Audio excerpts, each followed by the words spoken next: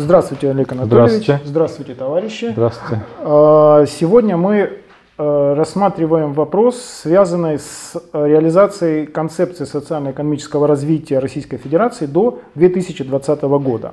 Долгосрочный концепт. Долгосрочной концепции развития Российской Федерации. Э, И хотелось бы начать в первую очередь с того, как вы считаете, почему для этой программы были выбраны такие показатели, которые позволяют достаточно свободно оценивать ее реализацию? Э, Ну, важно понимание, что это не программа. Это концепция. То есть это основные идеи, которые должны были быть положенными в программу. Потому что программа это документ очень серьезный, который означает и цели, обозначает, и основные средства их достижения. И расписано в такой степени, что можно уже приступать к ее исполнению. В данной концепции были собраны ряд параметров, которые нужно достигнуть, и плюс некоторые цели и, ну, может быть, некоторые средства. Не, не, не, цельны, не, было, не было создано цельной программы развития страны. До сих пор эта задача не решена у нас. А, Все крупнейшие страны, капиталистические в том числе страны, имеют программы развития. Пятилетние это как правило. Та же Южная Корея, которая многие хвалят, как она развивалась, какого уровня достигла, развивалась в течение четырех пятилетних планов. Капиталистическая Южная Корея. 4-5 лет. Четыре пятилетних плана развивались. Они ставили задачи, создавали программы развития, даже назвали планы развития. И большую часть их реализовывали, достигали эти параметры, которые ставились. У нас в 2008 году была создана концепция, то есть основные идеи, совокупность основных идей до 2020 года. Как оценивать этот документ? В принципе, его надо оценить в целом положительно, как документ. То есть, как основу для создания программ. Во-первых, слово долгосрочно нельзя, просто невозможно переоценить слово долгосрочное, которое там есть. Она действительно долгосрочная, на 12 лет. У нас э, в советское время, к сожалению, были пятилетние планы только. У нас не было долгосрочного плана в советское время. Но Голро, если не считать, вот. Но Голрой тоже, по сути, программа. Это еще не такой, не план, как э, потом планы были созданы. У нас были замечательные, создавались планы. И первый план это 27-28 год, это вот там через дробь шло, потому что не с 1 января они были, а с осени. По 32-33 год. Это первый план в мире, который был создан и реализован. И потом второй план. Благодаря этим реализации этих планов страна стала великой державой, социалистической, был построен социализм и заложена основа для победы в Великой Отечественной войне и победы в, во Второй мировой войне. Э, наша страна победитель не только в Великой Отечественной войне, но и победитель Второй мировой войне. Немаловажно. И вот концепция должна была, по идее, послужить основой для программы, создания программы. Но программа не состоялась. В советское время не было долгосрочного плана только пятилетняя. А здесь должна была быть создана программа, но ее не было. Но даже сама по себе концепция, как совокупность целей, могла иметь очень серьезный, очень серьезный результат. Но она, по сути, была просаботирована. В течение буквально первых нескольких лет еще вспоминали об этой концепции, а потом перестали. А это не просто какой-то документ, там, благопожелание. Этот документ, в нем написано, что данная концепция должна служить основой и руководством для формирования э, документации остальной, всех министерств, всех ведомств. Вот это, конечно, принято такое решение, но оно не было выполнено. Под каким предлогом? Предлог очень простой, кризис, мол, мировой.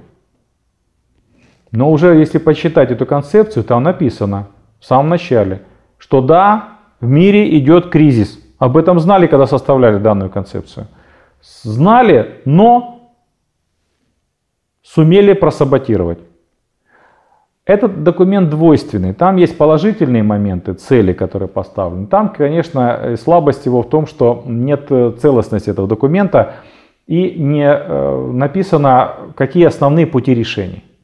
Это слабость была. Но эту слабость не собирались исправлять, а просто-напросто документ данный э, сделали все, чтобы его не выполнять. Под предлогом, который я назвал. А на самом деле наш э, государственный монополистический капитализм, он не осуществляет одну свою значимую функцию. Какая функция у капитала? Это всемирное развитие производительных сил. Это функция капитала. Эту функцию капитал у нас в стране осуществляет очень и очень слабо. Концепция должна была подтолкнуть наш капитализм, чтобы он осуществлял это. Что, почему нам важно, чтобы капитализм осу, осуществлял эту функцию? Производительная, какая основная производительная сила? Это рабочий класс. Трудящийся. Это рабочий, именно рабочий класс. Именно рабочий Потому класс. что производительной силой является не всякий трудящийся, а именно рабочий, который производит материальные ценности, производит продукт материальный. И в этом смысле нам, как э, коммунистам, важно развитие рабочего класса. А капиталисты у нас, российские, в недостаточной мере осуществляют эту функцию. А в этой концепции были заданы некоторые параметры, которые бы принесли пользу рабочему классу. Например, э, рост валового внутреннего продукта должен был составить примерно 6,5% в год. Сейчас даже не мечтают об этих цифрах. Они сейчас пишут опережение среднемировых, там, ну, 3, там, 3,5%. 6,5% поставили задачу. Это в целом в 2, цел, э, больше, чем в два раза должен был увеличиться валовый внутренний продукт. 2,25 за эти 12 лет. Это же, значит, два раза должны были в среднем лучше жить. Э, в том числе и э, рабочие. На самом деле реально оказалось около 20%. Есть разница между в два раза, больше чем в два раза, и 20%. 20% это 0,2. Это существенная очень разница. По реальным доходам. Реальные доходы должны были возрасти, по зарплату, к сожалению, там так не написано, но реальные доходы должны были возрасти в 2,5 раза. В 2, это нормально, это действительно могло такое произойти при правильном подходе, при правильной реализации. На самом деле, реальные доходы возросли за 12 лет на 10%. Сначала возросли на 20% а потом... до 2012 года, а потом с 2014 года упали на 10% реальные доходы. Это полностью не то, что не выполнение, это провал. Это провал данной концепции. Вот кто внимательно слушает или даже не, не внимательно слушает то, что говорят руководители страны, слово об этой концепции никто не говорит. В нескольких журналах, несколько публикаций, и все. Это фигура умолчания. Об этом говорят меньше, чем о многих других, гораздо вроде более таких э, острых э, процессах и проблемах. А концепция, вроде бы ее никто не принимал, вроде бы ее э, Владимир Владимирович Путин не подписывал. А он именно подписал эту концепцию. Он ее утвердил. Эта концепция должна была быть выполнена. Уровень бедности должен был быть снижен до 7% с 13%. Он остался на уровне 13%. Это статистика еще показывает 13. На самом деле мы знаем, что статистическое ведомство подчинено сейчас Министерству экономики, экономического развития. И что оно там показывает? Определяется начальством? Ну, во многом да, нет. Они не могут совсем уже сказать, что они выполнили. То есть все-таки 7% задача была дойти до 7% бедности? Нет, все-таки они пишут, что 13%. Другой параметр, очень важный, существенный. Доля валового внутреннего продукта, который тратится на образование и здравоохранение. Там стояла задача, я не буду называть вот цифры там все до запятой, чтобы не перегружать цифрами. 7% а, должно было тратится валового внутреннего продукта на образование, примерно столько же на здравоохранение. Тратилось примерно по 4. То есть в восьмом году тратилось примерно по 4%. Ставилась задача до 7. Сейчас около 3. Что это за реализация э, концепции? Это не просто реализация, это против данной концепции. То есть та политика, которую осуществляла правительство Медведева, ну и, кстати, Путина, с восьмого года, это правительство Путина вообще-то было. До 12 Потом, года. э, да, ну, с 8 до 12 года. И потом с 12 года правительство Медведева, это шло против концепции, которую утвердил Путин. То есть это внутреннее противоречие нашего э, капитализма проявлено здесь в таком виде, что они скрывают просто эту концепцию и ее результаты. Я говорю, буквально несколько журналов, я вот интересовался этим, прошерстил интернет и другие источники, очень мало кто об этом э, просто не то что говорит, а упоминает даже о ней. Путают эту концепцию с программой 2020 На этом которая не состоялась, эта программа. То есть ее вообще и не было, никто не утверждал. Либеральная совершенно так называемая программа высшей школы экономики там с их соратниками. Я вас попрошу отдельно остановиться вот на этом вопросе. Э, Многие не понимают разницы между концепцией Мгм. и программой. Просто нужно пояснить, что о программе, да, они писали достаточно много, и сейчас до сих пор пишут. и- и- но надо объяснить, что программа это программа, а концепция это концепция. Это немножко разные вещи. Но та программа 2020, которую называют программой, она еще меньше программы, чем концепция. То есть она не достигла уровня даже концепции этой. В концепции это серьезный документ на 100 с чем-то, на 190 страниц, но в разных изданиях там, э, на 100 с чем-то страниц в PDF-файле, если посмотреть. А так называемая программа 2020 либеральная, ультралиберальная, это вообще набор обычных э, догм, э, о том, что нужна приватизация, нужна свобода предпринимательства, нужна дружба э, с западным капиталом, и мы должны ждать манну небесную оттуда, должны быть инвестиции оттуда. Вот это обычное, то, что 30 лет уже кормят этой э, кашкой э, либеральной э, для э, совершенно неспособных э, людей. То есть люди мало на что способны, кроме как грабить, кормят других неспособных вот этой интеллектуальной кашкой, которая не приносит никому пользы, только один вред. То есть программа 2020, либеральная так называемая, это вообще не программа, это вообще документом она не стала. То есть вообще она не была утверждена никоим образом. Она и провалилась изначально. То есть она настолько вступила в противоречие с э, существующей действительностью, с тем, что уже наприватизировали, сейчас опять, сейчас же опять вот опять э, возникают э, без конца эти идеи приватизировать то одно, то другое. То приватизировать Сбербанк, а теперь давайте Сбербанк заберем у Центробанка, отдадим государству. Какому государству? Центробанк вроде не как часть государства, да? И сейчас, сейчас руководитель Центробанка заявляет, что? А бесплатно мы не отдадим. Платите. То есть Центробанк Российской Федерации заявляет правительству Российской Федерации, я вам бесплатно Сбербанк не отдам. Платите 2 триллиона рублей. То есть это о чем говорит? О неспособности, о слабой способности нашего капитализма, наш- нашего, нашего персонифицированного э, капитала, то есть э, наших капиталистов, к э, нормальному управлению страной, даже по капиталистическим экономическим законам. То есть не вполне соответствует развитие нашего капитализма российского экономическим законам капитализма, который находится на стадии государственного монополистического капитализма. То есть стадия такая, а управление отстает очень сильно.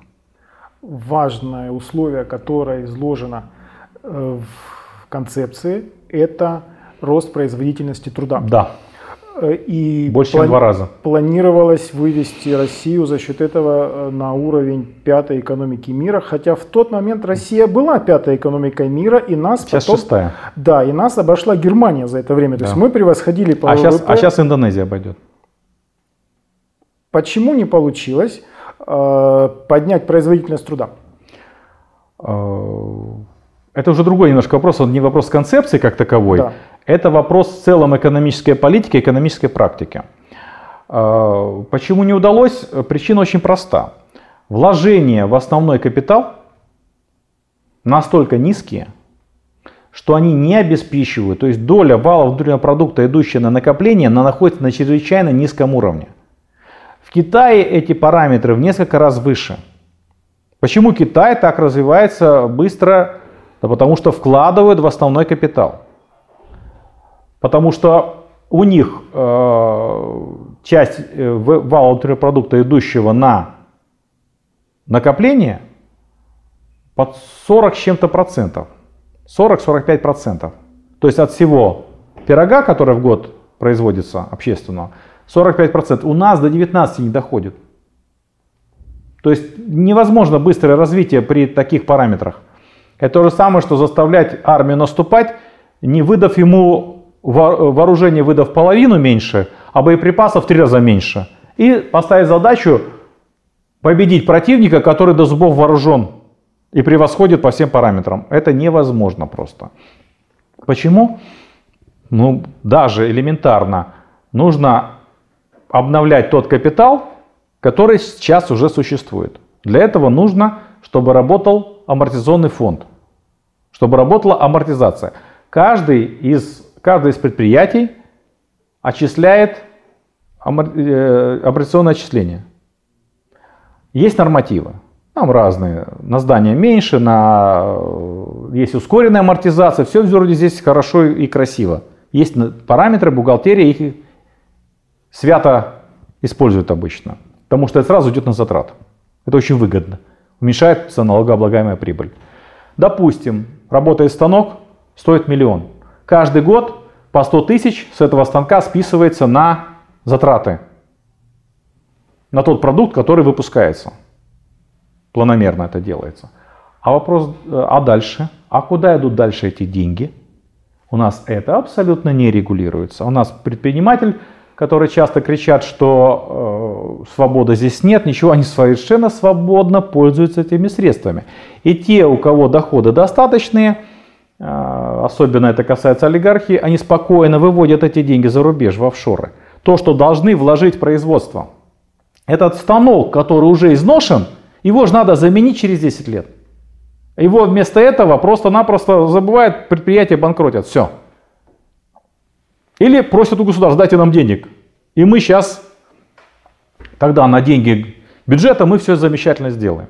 И так оно и это не получается. И эти деньги также выводят, потому что контроля здесь нет. А нужно, как минимум, чтобы вместо старого станка поставили новый станок. Для этого нужно регулировать процесс использования амортизационных отчислений. Не только их э, исчисления, не только их э, бухгалтерский учет, но и как их используют. Для этого не надо далеко ходить, можно э, предложить целый ряд вариантов, как это делать. Например, создать государственный амортизационный фонд. Если ты используешь как предприниматель, как промышленник, Используешь деньги того, что начислил амортизацию, пожалуйста, ничего никуда, ничего не надо давать. Ты купил станок, все, молодец, купил станок, станок у тебя работает. А если не купил, вот тот, ту амортизацию, которую ты начислил, будь добр, сдай в этот фонд, допустим, по 2% годовых. Кому нужно будет из предпринимателей? Тот, допустим, под 4% годовых придет и возьмет эти, эти деньги у государства по 4% годовых. Кто у нас еще по 4% годовых может это сделать? Никто. Но есть как, какие-то программки по, по этому поводу. Министерство э, промышленности и торговли имеет такие программы, но это очень слабо развитые. И тем более остальное просто банки наживаются на разнице процентов. А здесь ничего не надо наживаться. Не использовал сам, отдай в этот фонд твои деньги. Захочешь забрать, забираешь в любой момент, но только покупаешь станки на эти деньги.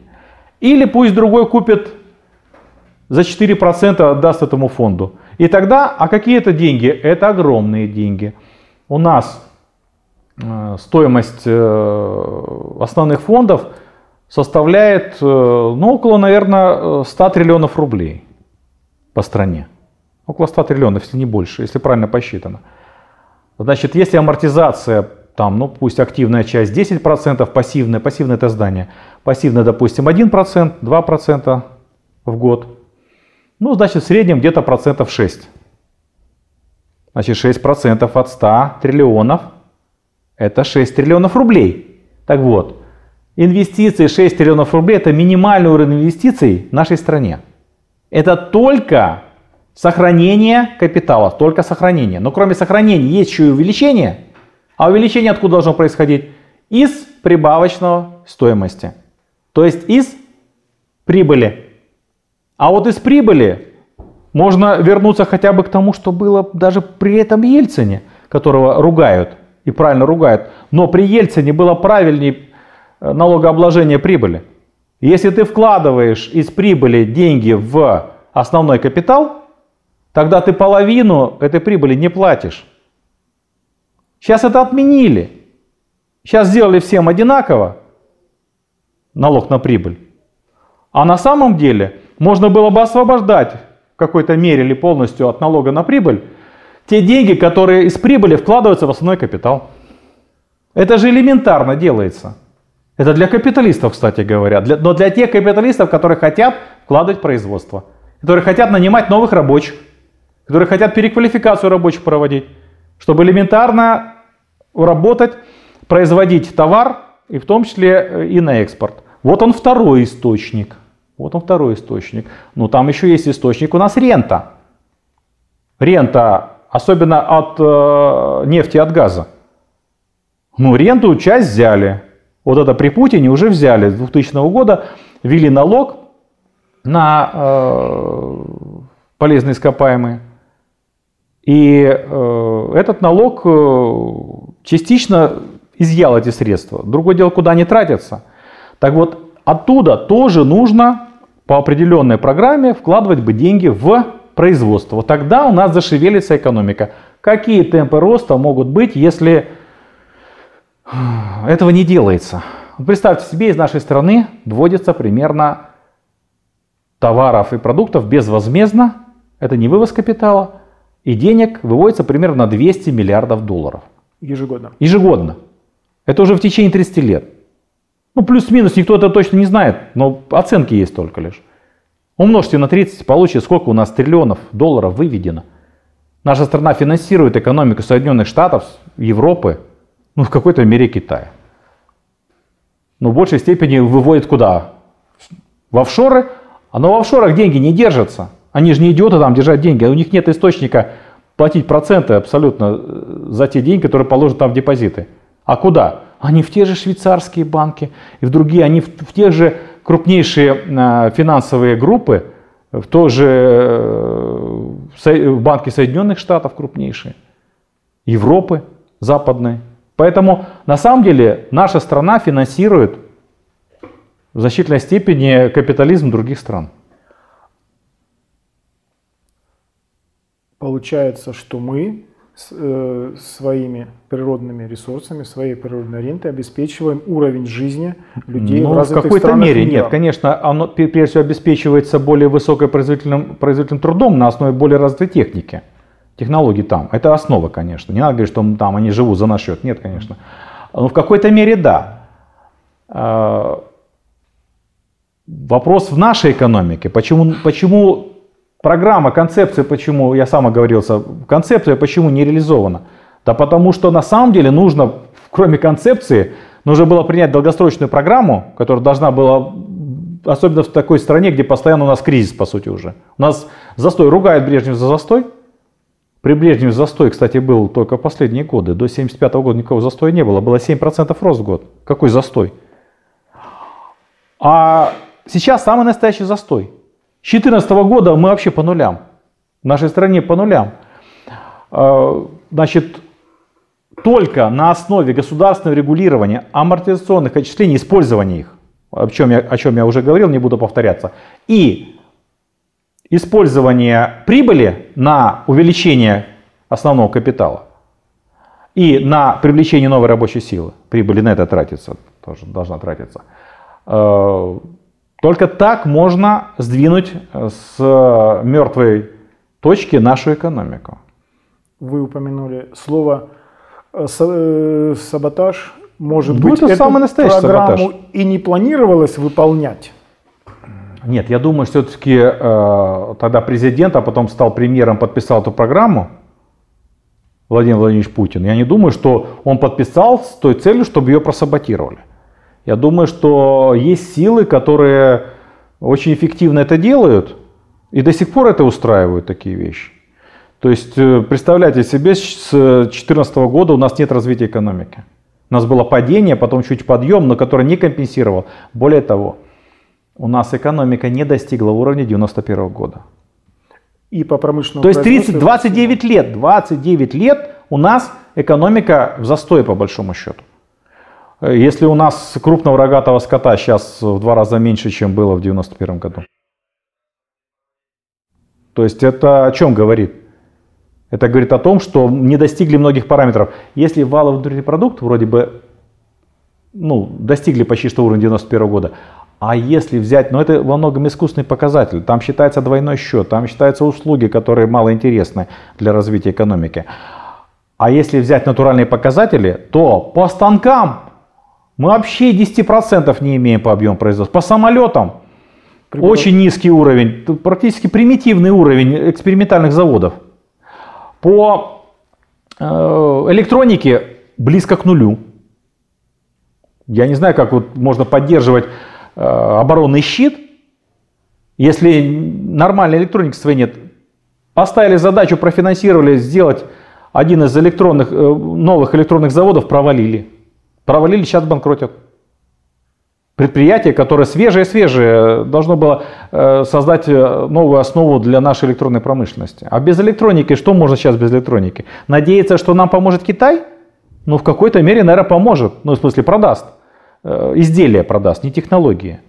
Китай сейчас 5G, уже сейчас 5G делает. Huawei, как известно. А мы даже не приблизились к уровню десятилетней давности по технологиям электронным. По нанометрам там у нас не получается. И у нас э, наша электроника, которая используется, она в несколько раз дороже для нашего управления государственного, для э, военной техники, в несколько раз дороже, чем аналоги западные. Хорошо, что она хоть это осталась, сохранилась, но надо же двигаться дальше. И вот концепция как раз, она предполагала очень серьезный уровень, кстати, уровень доходов очень серьезный. Вот представьте себе, пенсия – должна была на уровне трех прожиточных минимум пенсионера. То есть пенсия должна была быть в стране уже 30-35 тысяч рублей. Обычная нормальная средняя пенсия. А зарплата 2500 долларов. А зарплата, ну такая цифра фигурирует, но есть такая, такой параметр интересный. Зарплата должна, была, должна на уровне восстановительно, минимальная зарплата должна была на уровне э, восстановительного э, прожиточного уровня. То есть три минимальных заработных платы. Должна была минимальная, три прожиточных минимума. Три прожиточных минимума должна была составлять минимальная заработная плата. Минимальная. Минимальная. минимальная. То есть, э, э, если прожиточный минимум сейчас будем считать 12 тысяч, хотя он заниженный, конечно, то получается 36 тысяч должна была быть минимальная заработная плата в стране. И такая задача была в концепции. Плохая задача разве? Отличная. Отличная задача. В долларах там считать это дело спекулятивное. Доллар такой, сякой, как там считать по ППС, по э, паритету покупательной способности, без паритета. Сейчас по паритету покупательной способности доллар должен был стоить э, примерно 25 рублей.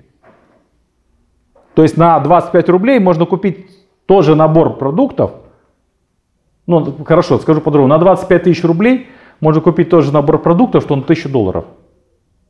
Поэтому 1000 долларов равна 25 тысячам рублей. А то, что курс 65, это спекулятивный курс. Это курс явно, наша валюта занижена почти что в три раза. Два с половиной раза занижена валюта. Для чего? Для экспортеров. И у нас вот экономика экспортеров примитивных товаров то есть ресурсов. В это же время мы видим, что несмотря на глобальный финансовый экономический кризис... Ну, пока еще нельзя сказать, что есть финансовый кризис. Это пока громкие слова, немножко журналистские э, термины штамп. такие. На самом деле, штамп, да, кризиса, финансового кризиса мирового сейчас нет.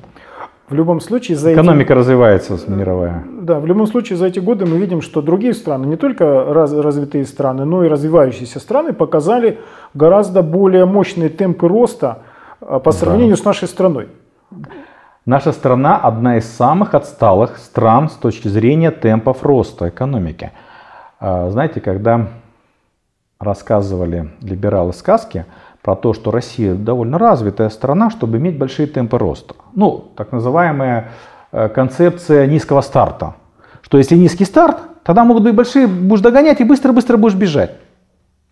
А если ты уже такой более-менее развитый, то ты не можешь так быстро бежать. У тебя уже такое брюшко есть, и ты уже как-то медленно, солидно должен двигаться, как движется, например, там, Германия, например, по 2% в год, по 3%. И говорили, Россия что же не, не слаборазвитая страна, она не должна быстро-быстро бежать.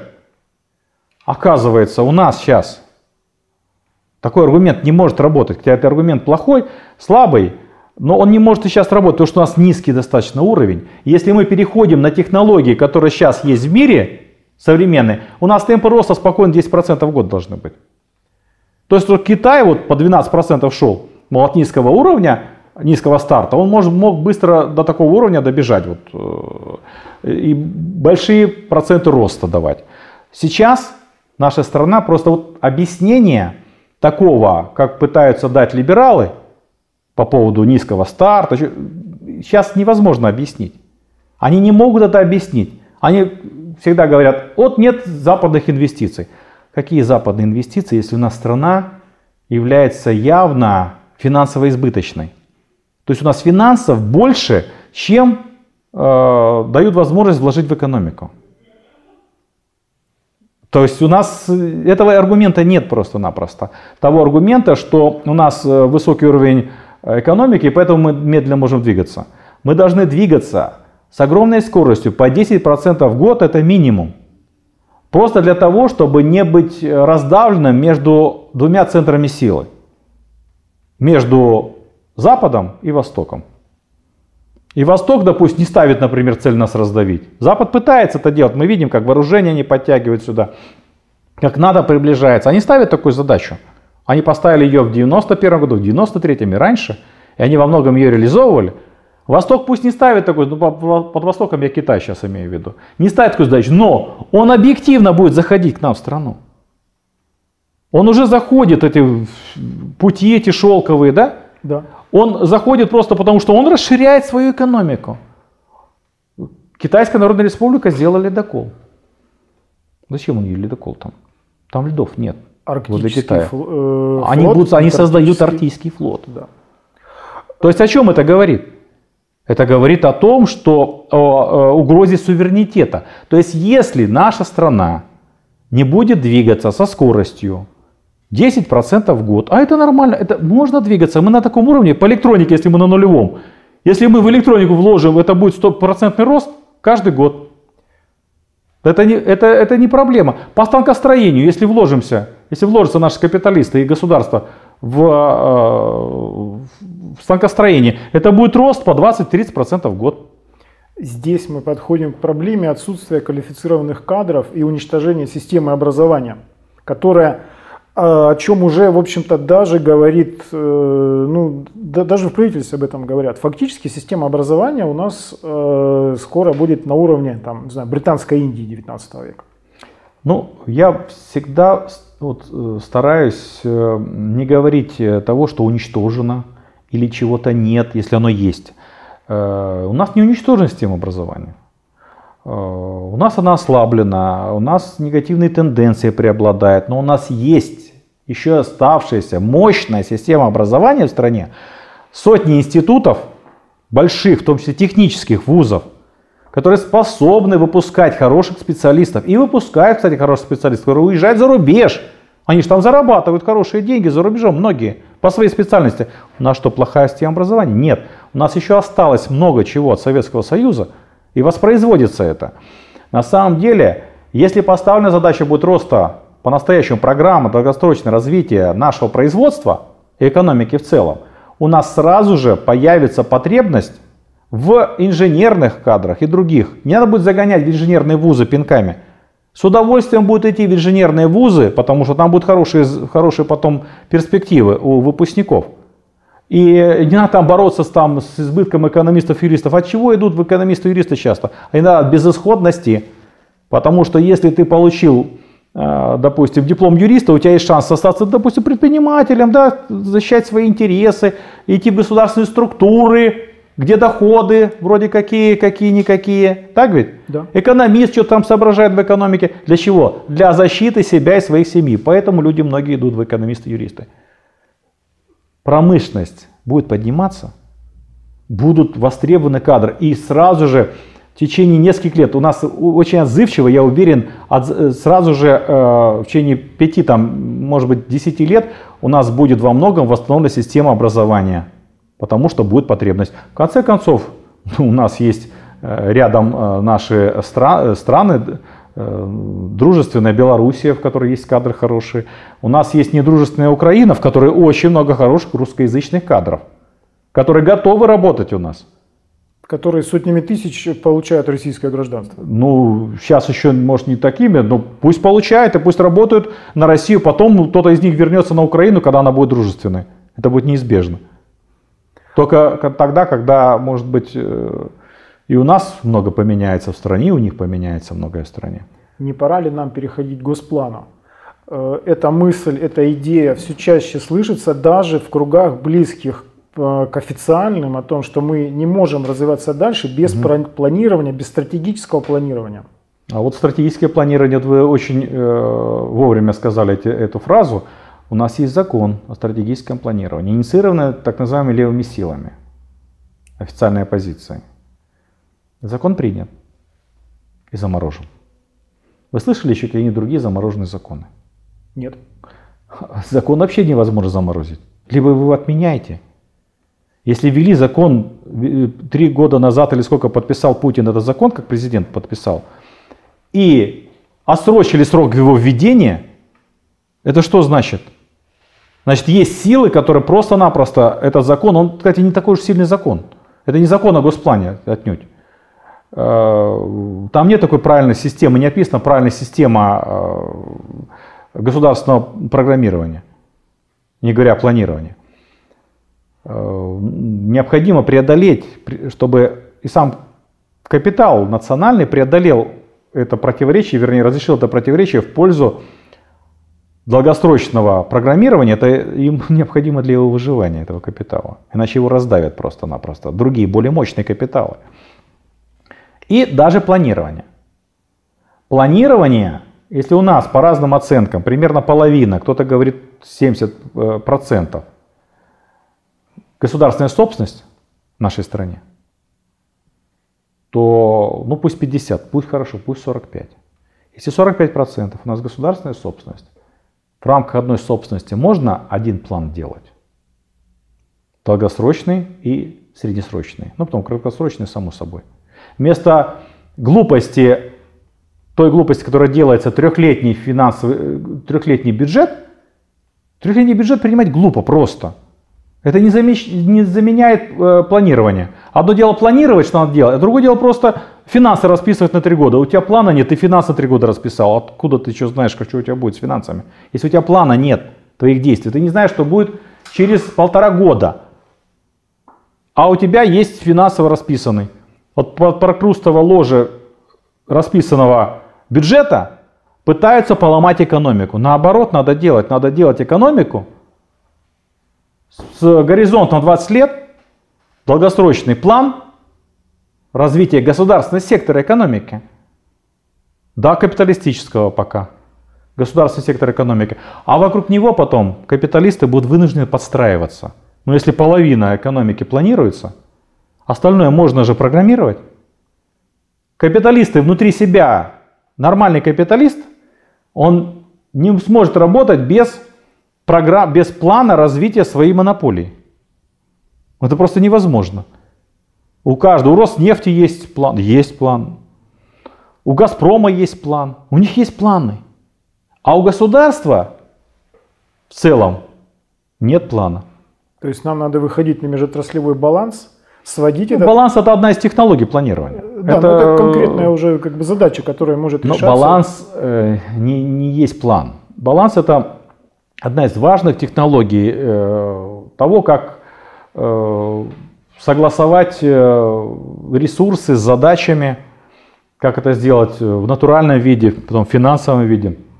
Нужен план, прежде всего, исходящий из задач. Какая задача стоит перед российской экономикой? Эта задача, вот даже почитать эту концепцию, о которой мы с вами говорим, эта задача не поставлена, она очень обтекаема. А сейчас задача стоит, чтобы наша страна наша экономика вышла на уровень длительного, быстрого развития с той целью, чтобы сохранилась Россия. То есть сейчас просто стоит задача вот такая, сохранение России. То есть между двумя полюсами, экономическими мощнейшими полюсами нас просто затянет или в один, или в другой. То есть это... Да нет, скорее всего будет хуже. Между ними. Между ними. Это просто-напросто на разрыв. Это не будет такого, что там... Э, сейчас тенденция какая? Сейчас тенденция к востоку. Сейчас же на самом деле, посмотрите, э, насколько усиливаются связи с Китаем. Капиталистические, капиталистическая Россия резко усиливает связи с Китаем. Не боятся называть союзнические, но еще их и нет союзнические. Но партнерские, не просто партнерские, там уже э, такие стратегические отношения. Куда у нас трубы пошли газовые? Туда пошли. Туда не, ну, на запад ну, ну, не дают доделать трубу даже на запад. А туда, пожалуйста, на восток. Хотя э, китайцы тоже очень э, блюдут свои интересы. Наши построили трубу, а по цене еще не определились. Ясно, что цена будет невысокая. Труба уже есть, газ есть. Это значит что? Предложение есть, спрос пока не, э, не проявлен. Поэтому им нужен очень газ наш, очень нужен, потому что у них задыхаются города, в дыму от угольных электростанций.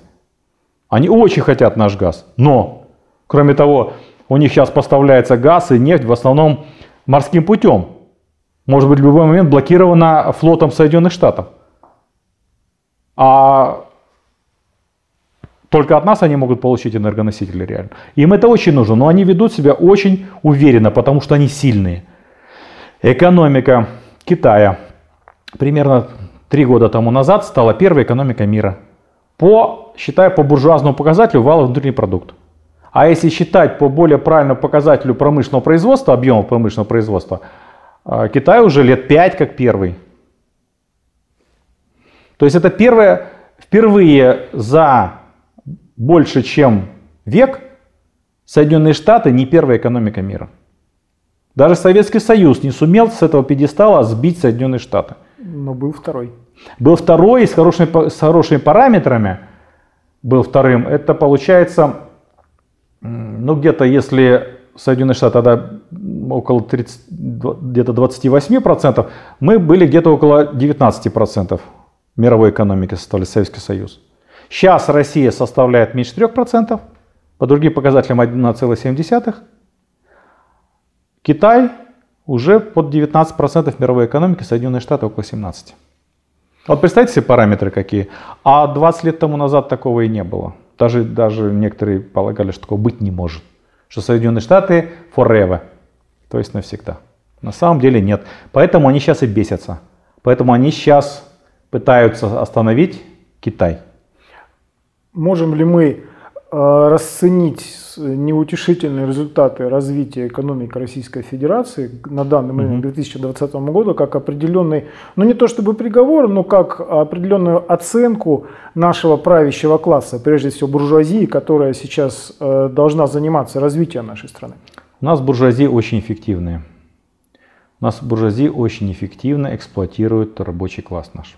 В этом смысле равных, может быть, трудно поискать.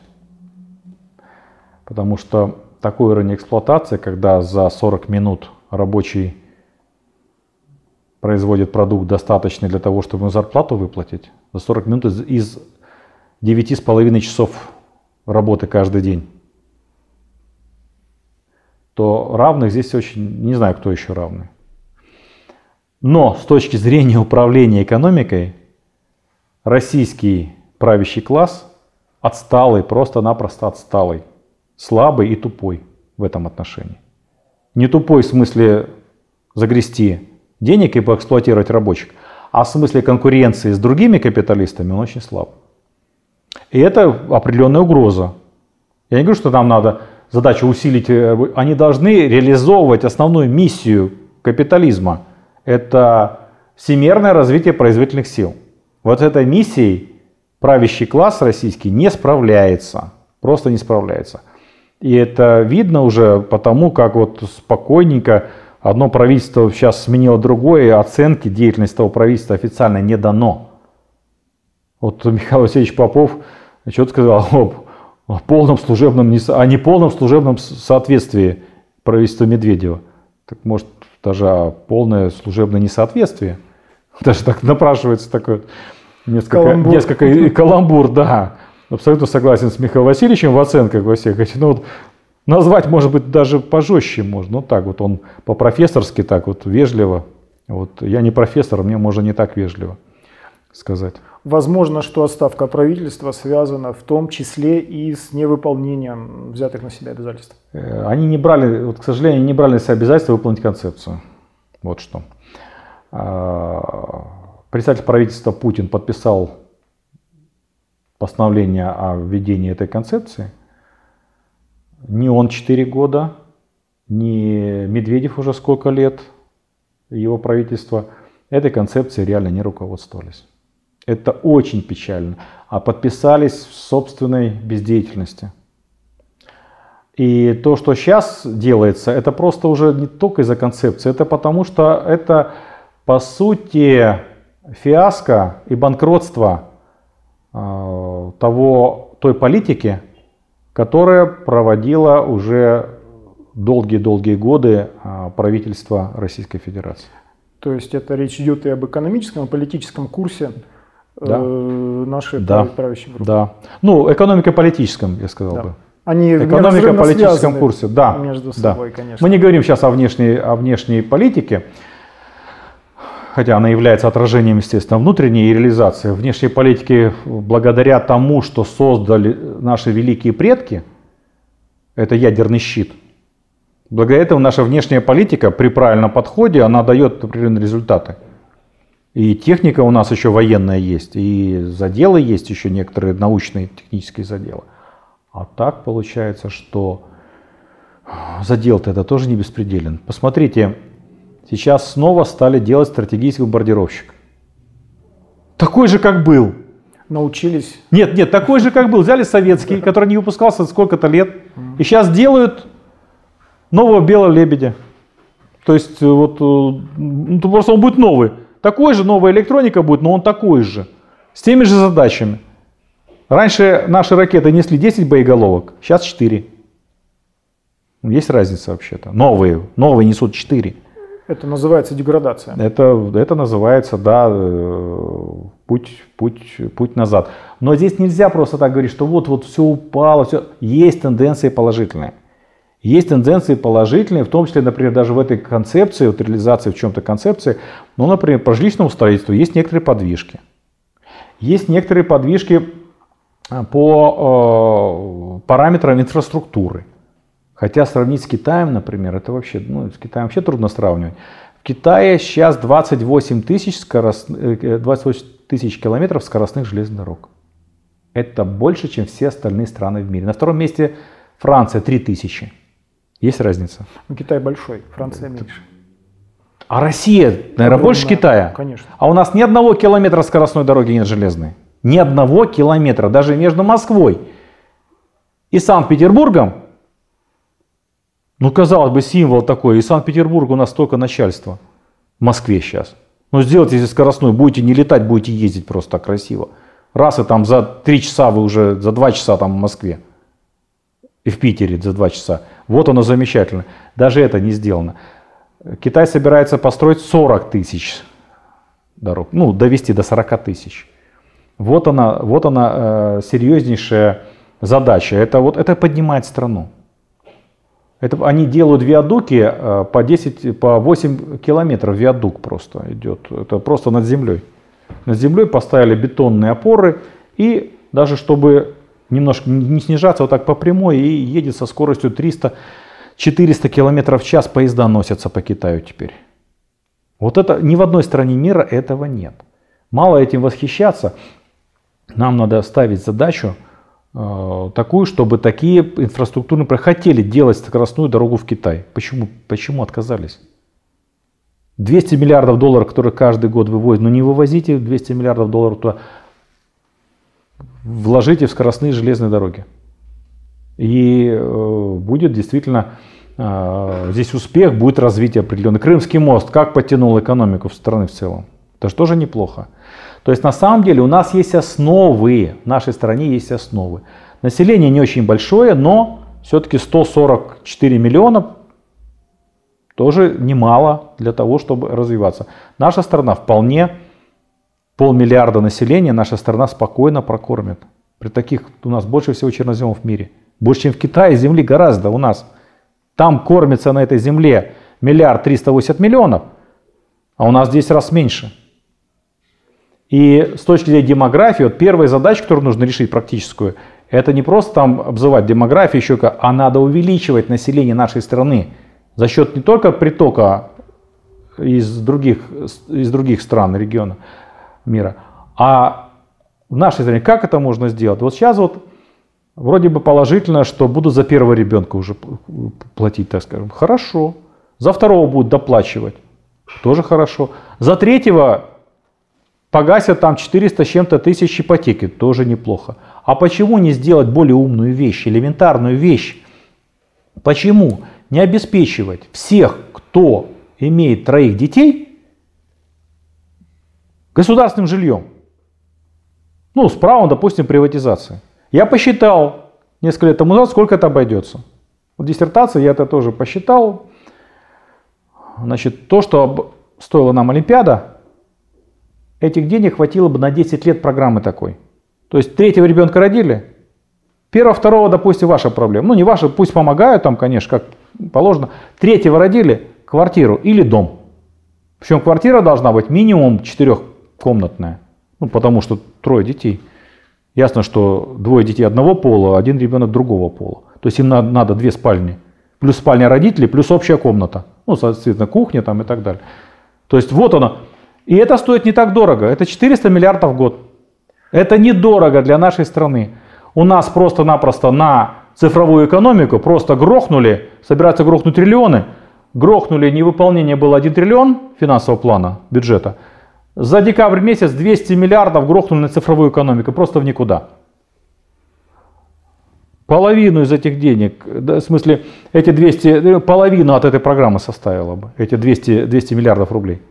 И можно, кроме того, это подняло бы как жилищное строительство. Выполняли бы госзаказ для целых квартала бы строили для многодетных. Это же нормально совершенно. Там были специальные детские сады, специальные школы бы строили, приспособленные для того, чтобы туда ходили э, много детей, что было в этом. То есть у нас вот обычный микрорайон, там в Москве, даже в Питере, он не для многодетных. И вообще многодетные, это, извините, не три человека, по большому счету. Это уже 4-5 человек, это многодет. Но пусть даже хорошо, пусть считают три человека. Действительно, три человека, это обычная семья должна быть. Почему? Потому что двое это замена родителей, а третье это увеличение. Поэтому наша страна должна задачу номер один решать, и денег для этого предостаточно. И вот на чем можно проверить это правительство, это на том, как не просто помогать многодетным, а обеспечивать многодетным жильем. Вот, извините, ради жилья, может быть, некоторые женщины подумали бы о третьем ребенке. Если государство бы, и это не то, что в очередь поставить, а вот так вот, родили, в течение нескольких месяцев, как это было в ГДР. В ГДР семья создается квартиру, без детей еще.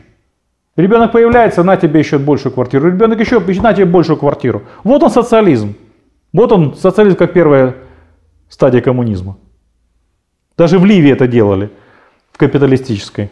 То есть современ... развитие современных производительных сил позволяет да. нам в полной мере выполнить... Э, а как это подняло бы малые города?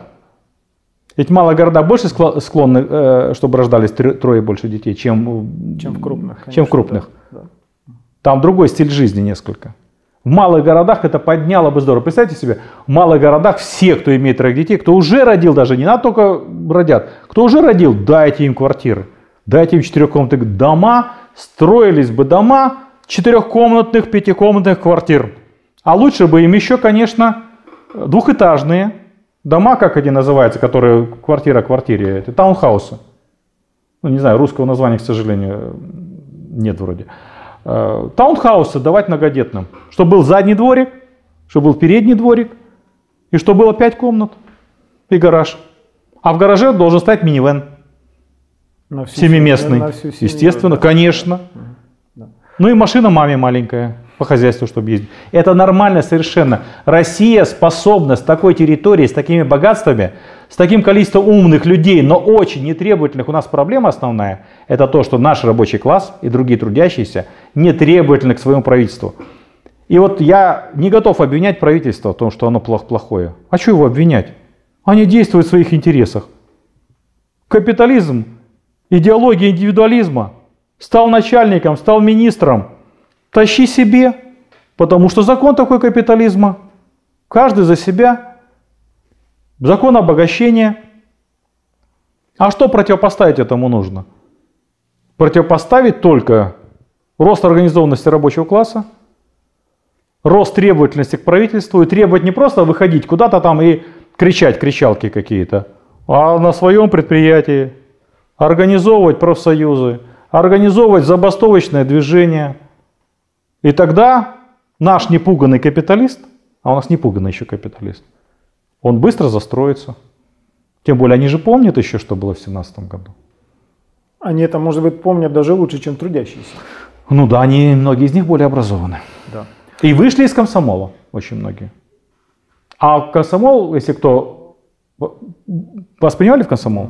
Меня приняли в комсомол. Надо четко знать все ордена комсомола. И историю. То есть орден за то, за то, за то. Ну, а комсомольцы, кто такие комсомольцы? Вот этот Ходорковский комсомолец. Из НТТМ, НТТМ вышел. Научно-техническое творчество молодежи. Там Березовский вроде тоже коммунист был.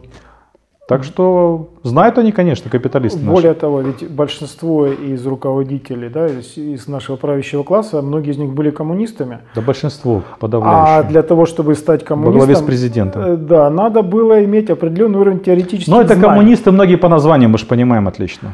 Но по духу коммунистов оказалось видно, что в 90-91 году те, кто были в коммунистической инициативе, те, кто противодействовали и боролись за социализм, за сохранение социализма, того, что осталось от социализма к 1991 году уже после Хрущева и Брежнева, их оказалось меньше миллиона из 19 миллионов членов КПСС. Получается, что сегодня, ну, на данном историческом этапе, мы подходим опять к тому же месту, о чем говорил Карл Маркс, что э, борьба рабочего класса есть действие самого рабочего класса. Да. Спасение утопающих. Дело самих утопающих, конечно. Но в данном случае, опять же, очень важно для того, чтобы знания, да, знания, они пришли в среду рабочего класса. Э, Но уже мало знаний. Нужно действие. Действие. Знание это хорошо и правильно, без этого никуда. И партия рабочего класса как раз и соединяет научный социализм с рабочим движением. И все, кто рассказывают рассказки, что они будут просвещать, агитпропагандировать и так далее, если они не проводят задачу соединения научного социализма с рабочим движением, никакие это не коммунисты, никакие эти не марксисты, а это всякие разные там троцкисты и прочая шваль. Кто не занимается рабочим движением, это не коммунисты. Это отбросы, которые э, вовсе не левого движения, это политические отбросы правящего класса. В свое время Сталин сказал, пойдешь налево, придешь направо. Ну, Он по другому поводу это сказал. Да. Но, ну... Э, вообще, я думаю, что левые и правые это вообще очень условные названия. Правильно говорить марксисты-ленинцы.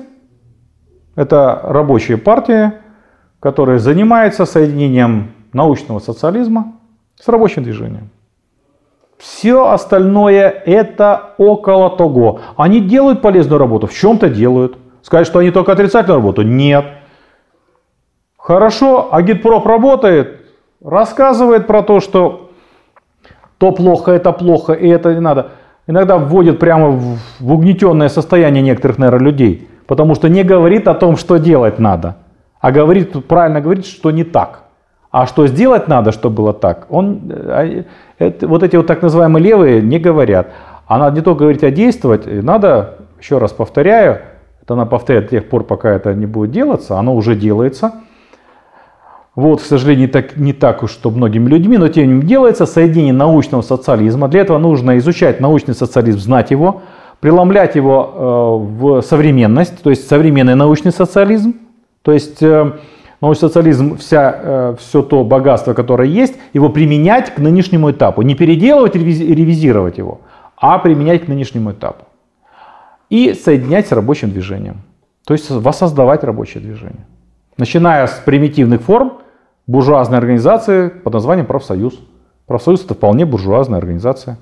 Потому что это за интересы определенного, определенной части трудящихся. Но из этой буржуазной организации, ведь социализм вырастает из капитализма вообще-то. Он не просто на пустом месте. Он на основе того, что создано при капитализме. В том числе буржуазная организация профсоюз создана при капитализме, создается. Но потом, по мере его развития, оно вполне создает предпосылки для социализма. Когда профсоюзная борьба, забастовочные комитеты посылают своих представителей в замечательный орган под названием Советы. Эти советы становятся фактической властью в том или ином городе, в том или ином регионе. Даже... А потом и объединяются между собой. Так, так возникает советская власть. Даже так. по современному буржуазному праву профессиональные союзы имеют полное право принимать участие в деятельности местного самоуправления. Да, обязаны даже да, в чем-то. И в данном случае мы видим, как мы можем выйти. Трехсторонние на... комиссии есть, например. Да. Где руководство города, например, профсоюза и союз предпринимателей, работодателей. Вот одна из форм уже управления. Государственного управления, не муниципального управления. Ну, муниципального, да, да муниципального. Да. А если, допустим, отпадет одна из сторон, ну, отпадет, имеется в виду буржуазная, ну, останется две, две стороны. Да. В силу того, что не справится с ситуацией. Она да. уже все признаки того, что не справится, не справится ситуация. Имеются все ресурсы для того, чтобы страна развивалась быстро. И чтобы была с 8 года до 20 могло быть выполнена концепция долгосрочного социально-экономического развития страны. Но буржуазия показала полную свою в этом отношении импотенцию. Цели поставленные никто не отменял, и, соответственно, трудящиеся, если... Ну, еще 20 поставить... год еще остался. Вообще-то формально э, программа э, до 2020 года. 2020 год, по идее, входит. Да. Это не до 1 января 2020 года, а до 2020 года. За 2020 год может быть новое правительство. Ветер в парус ему. И может что-то реализует. Зарплату он повысит пусть раза в два для начала. Уже Я хорошо думаю, будет. Что... На предприятиях хотя бы, на промышленных. Если трудящиеся жестко не поставят вопрос. Ну это да, это я шучу, конечно. Никто там сверху не повысит, только борьба самих рабочих организованных этого достигнет. Спасибо. Спасибо.